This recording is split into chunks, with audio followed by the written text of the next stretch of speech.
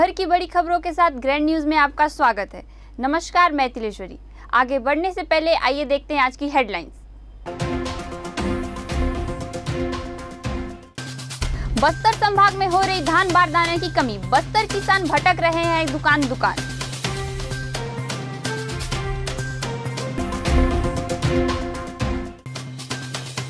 विद्युत मंडल के द्वारा बकायेदारों से की जा रही है वसूली।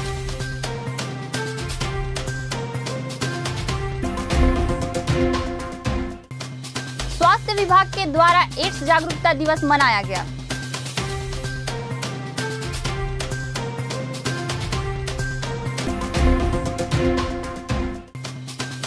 खेल एवं युवा कल्याण विभाग द्वारा जिला स्तरीय युवा खेल उत्सव का हुआ आयोजन।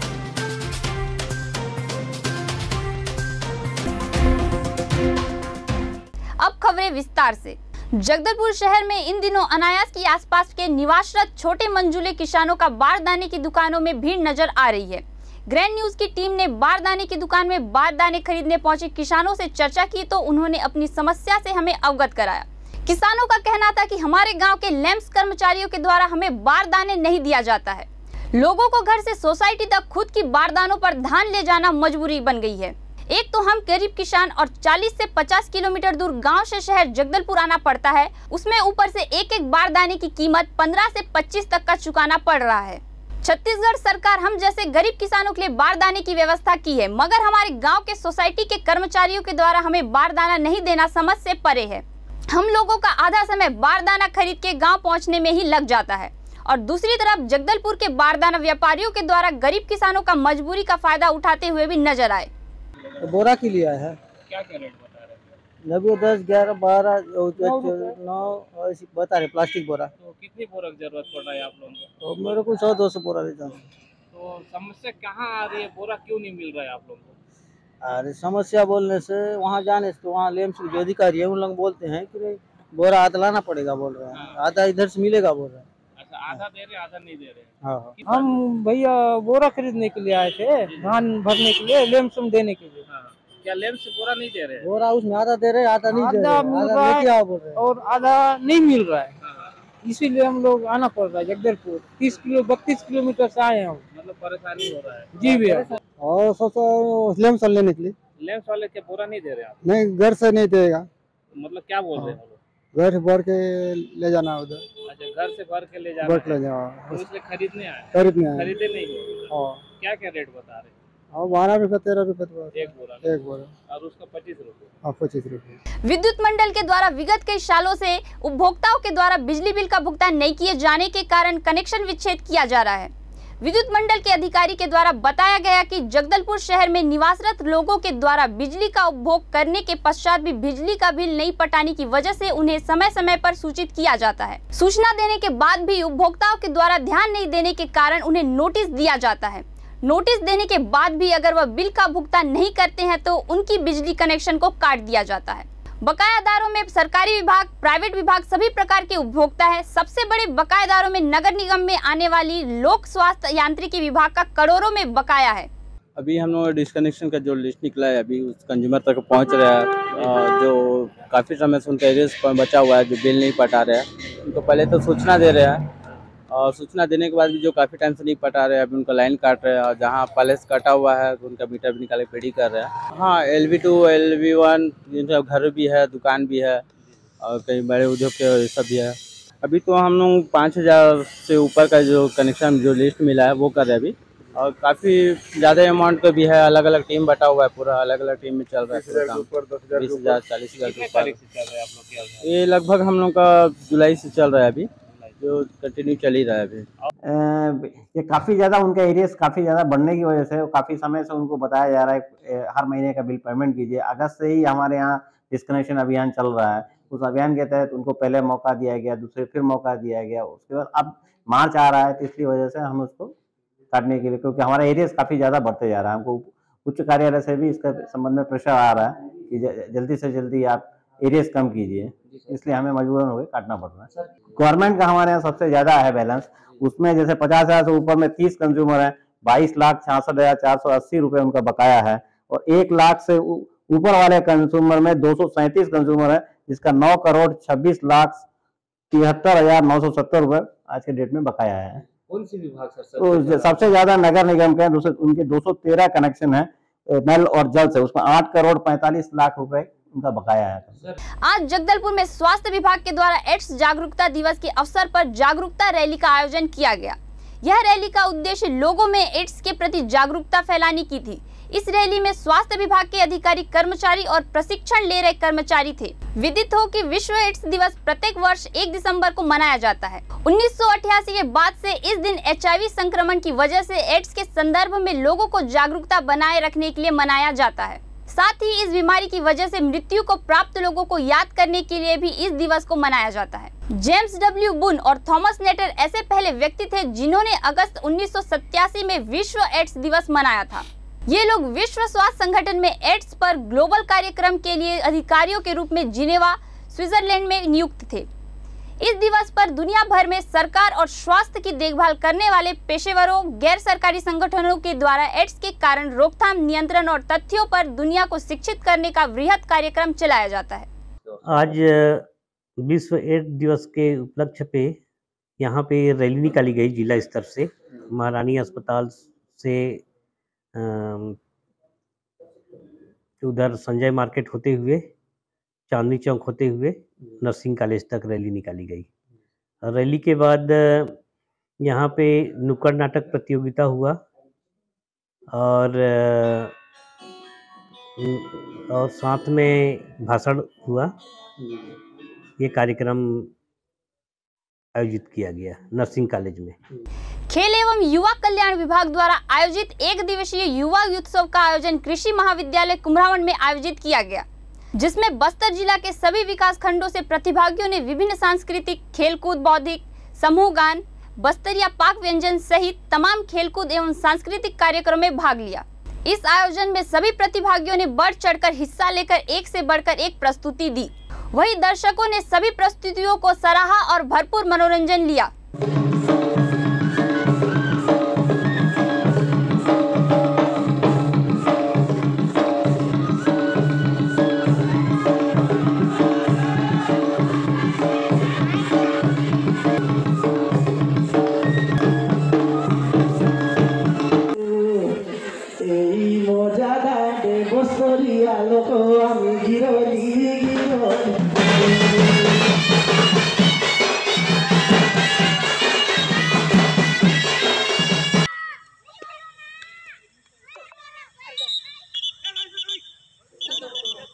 तेईस के अंतर्गत में जिला स्तरीय महोत्सव, जो कृषि महाविद्यालय में किया जा रहा है और जिसके अंतर्गत सात ब्लॉक भाग लिए हैं और जिसमें दरभा बास्ताना, बकामंड लहंदीगुड़ा जगदलपुर और अन्य ब्लॉक के लोग भाग लिए हैं। और जो बहुत ही उत्साहित होकर के इस खेल में भाग ले रहे जिसके अंतर्गत आप कबड्डी और खो खो और विभिन्न विधाएँ सांस्कृतिक प्रोग्राम किया जा रहा है और जिसे भौरा और फुगड़ी भी शामिल है। आज हम यहाँ पे आए हुए हैं यूथ फेस्टिवल में जो कि हमेशा होता आया है और होता ही रहता है। अ, साल में एक बार होता है और इसमें दो कैटेगरी होते हैं एक पंद्रह से चालीस और एक चालीस प्लस का कैटेगरी होता है, उसमें सारे आइटम्स होते हैं, जैसे फोक डांस होता है है ना? फोक गीत होता है क्लासिकल होता है, भरतनाट्यम, ओडिसी प्लस छत्तीसगढ़ और बस्तर का जो ट्रेडिशनल फोक है, जैसे सुआ है, गेड़ी है पंथी है, बस्तर का डंडार है, ये सारे लोक नृत्य की प्रस्तुतियाँ यहाँ होती है और सारे ब्लॉग्स हम यहाँ पे आए हैं, ये जिला स्तरीय कॉम्पिटिशन है। और आज हमारा युवा उत्सव के उपलक्ष्य में पाक कला का फेस्टिवल रखा गया फ़ूड फेस्टिवल और इसमें हमने बनाया चापड़ा चटनी मंडिया पेस्ट ये बस्तरिया खाना है, आप लोग सब जानते हैं। और सात प्रकार की चटनी है, जिसमें आंवला चटनी है, इमली चटनी है, भेंडा टोपा की चटनी है गेहूँ कांदा की सब्ज़ी है, पास्ता की सब्ज़ी है, बुलबुला, बोबो है तिकुर है, कांदा है अंकुरित है अंकुरित सलाद है और महुआ का चाय भी है, अदरक का चाय भी है। सात विकास खंडों के लगभग पंद्रह सौ कलाकार एवं खिलाड़ियों ने भाग लिया इसके अंतर्गत सांस्कृतिक विधा में लोकनृत्य लोकगीत, एकांकी नाटक, वादन में तबला मृदंगम हारमोनियम, गिटार, सितार वीणा गायन में शास्त्रीय संगीत हिंदुस्तानी और कर्नाटक बांसुरी इसी प्रकार से खेल विधाओं में कबड्डी, खो खो, कुश्ती, बौद्धिक विधाओं में वाद विवाद तात्कालिक भाषण निबंध और चित्रकला प्रतियोगिता संपन्न हुई। मुख्यमंत्री भूपेश बघेल सहित प्रत्याशी सावित्री मंडावी, प्रदेश अध्यक्ष मोहन मरकाम, मंत्री कवासी लखमा सांसद दीपक बैज, विधायक संगीता सिन्हा चुनावी रथ में सवार होकर अपने प्रत्याशी के लिए प्रचार प्रसार किया। आज भानु प्रतापपुर में उपचुनाव में मुख्यमंत्री के साथ चार सभा में शामिल हुए सांसद दीपक बैज। आज मुख्यमंत्री भूपेश बघेल एवं प्रदेश अध्यक्ष मोहन मरकाम, मंत्री टी एस सिंहदेव, कवासी लखमा, अनिला भेड़िया, अमरजीत भगत व बस्तर सांसद दीपक बैज जैसे इस प्रचारकों ने एक के बाद एक हेलीकॉप्टर से धुआंधार चार सभाएँ की। भानु प्रतापपुर में अब चुनावी सरगर्मी तेज होती नज़र आ रही है।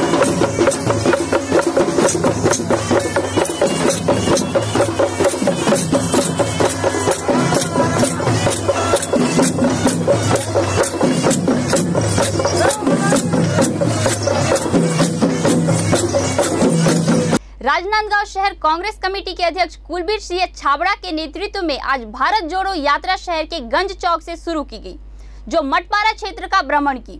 इस दौरान जगह जगह इस यात्रा का स्वागत किया गया, वहीं यात्रा के दौरान महिलाओं समूहों का सम्मान भी किया गया। भारत देश की एकता और अखंडता के लिए भारत जोड़ो यात्रा कांग्रेस पार्टी के द्वारा शुरू की गई है। इस यात्रा के माध्यम से सभी को आपसी भाईचारे के साथ रहने का संदेश दिया जाता है। राजनांदगांव शहर में भारत जोड़ो यात्रा के प्रभारी और शहर कांग्रेस कमेटी के अध्यक्ष कुलबीर सिंह छाबड़ा के नेतृत्व में यह यात्रा शहर के विभिन्न वार्डो में निकाली जा रही है।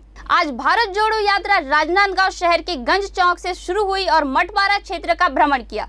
इस यात्रा को लेकर शहर कांग्रेस कमेटी के अध्यक्ष कुलबीर सिंह छाबड़ा के ने केंद्र की नरेंद्र मोदी सरकार पर निशाना साधते हुए कहा कि आज भारत के लोगों को सांप्रदायिकता के नाम पर बांटने की कोशिश की जा रही है और भारत को खंड खंड किया जा रहा है। हम भारत को जोड़ने यह यात्रा कर रहे हैं। इस दौरान उन्होंने देश में बढ़ती महँगाई को लेकर भी केंद्र सरकार पर निशाना साधा।